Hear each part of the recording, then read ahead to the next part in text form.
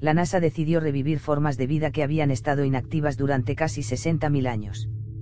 La reanimación de estos organismos, que han sobrevivido dentro de los cristales, plantea la inquietante perspectiva de que organismos alienígenas puedan ser encontrados en ambientes extremos en otros planetas, y puedan ser revividos. Penelope Boston, una de los miembros claves de la NASA detrás de esto y la directora del Instituto de Astrobiología de la NASA, ha pasado años explorando la mina mexicana Naica en Chihuahua en busca de extremófilos con su equipo. La mina está llena de enormes cristales de yeso que se ven tan extraordinarios que la doctora Boston creyó que fueron retocados con Photoshop cuando vio por primera vez una fotografía de ellos. Sin embargo, lo que había dentro de los cristales la asombró aún más.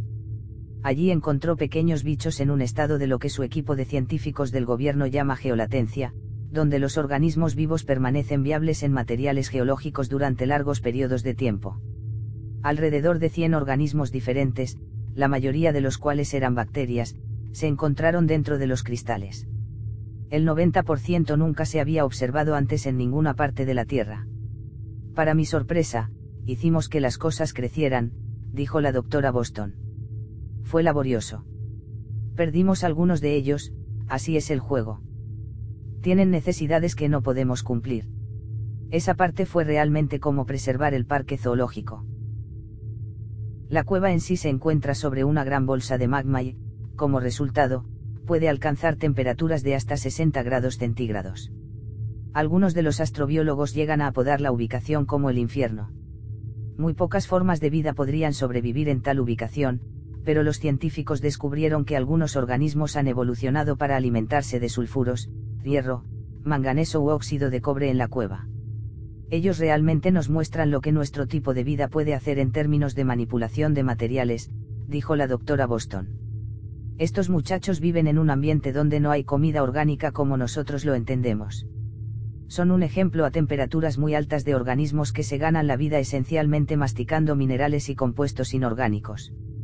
Esta es quizás la historia profunda de nuestra vida aquí los científicos informan que detectaron señales de lo que solo llamarían formas de vida extrañas en otras cuevas, pero acceder a esas áreas era demasiado peligroso.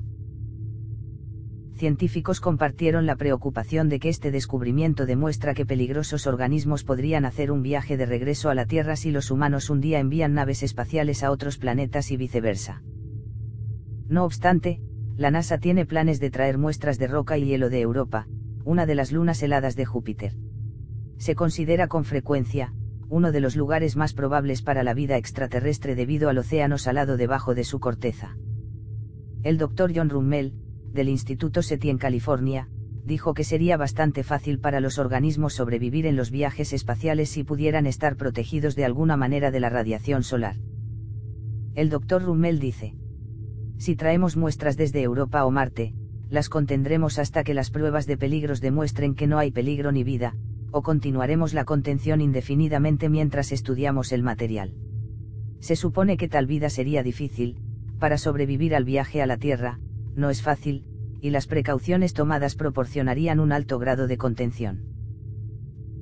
Toda esta información es aterradora, pero tal vez lo más sorprendente es el hecho de que los científicos de la NASA están dispuestos a revivir estos organismos sin siquiera considerar si podrían ser peligrosos o no más del 90% de ellos nunca se había visto antes, pero estos científicos, al parecer pensando que pueden jugar a ser Dios, ni siquiera se molestaron en considerar si estas criaturas recién descubiertas podrían ser peligrosas.